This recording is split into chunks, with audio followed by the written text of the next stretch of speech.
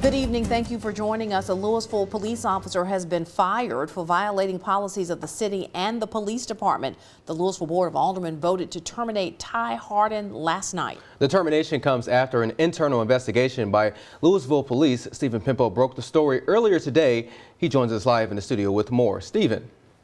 Andrea Winston, that's right. Police Chief Sean Holden has told me the investigation began when witnesses claimed they saw the now ex-LPD officer with others in his squad car in ways that went against city and police policy.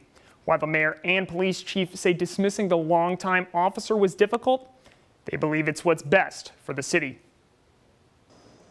The accusations are still under investigation and most likely we're going to pass this on to an outside agency. That's where Louisville Police Chief Sean Holden says things stand after the city council voted to fire Officer Ty Harden Tuesday night on his recommendation. The decision comes as the result of a months-long internal investigation involving the 30-year-old officer. Chief Holderness and Mayor Will Hill say it uncovered violations of the policies and procedures for both LPD and the city. Violations plural, uh, not at liberty to discuss as things at executive session are matters of personnel and personnel related.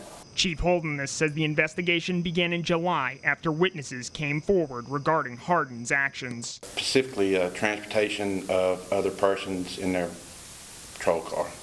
After discussing the matter in a closed session, the board voted 3 to 2 to terminate Officer Hardin, who'd been a nearly eight year veteran of the police force. Difficult decisions at times have to be made, uh, but there are expectations, there are criteria, policies, and procedures in place to protect the city of Louisville, to protect the integrity of the city of Louisville. While the police chief called the situation heartbreaking, he says it's even more important that law enforcement be held to the highest standard. Be uh, above and beyond what the uh, normal public would be expected to do. Hardin still currently serves as Winston County Constable. It's unfortunate that it has come to this, but it is a decision that has been made in the best interest for the city of Louisville.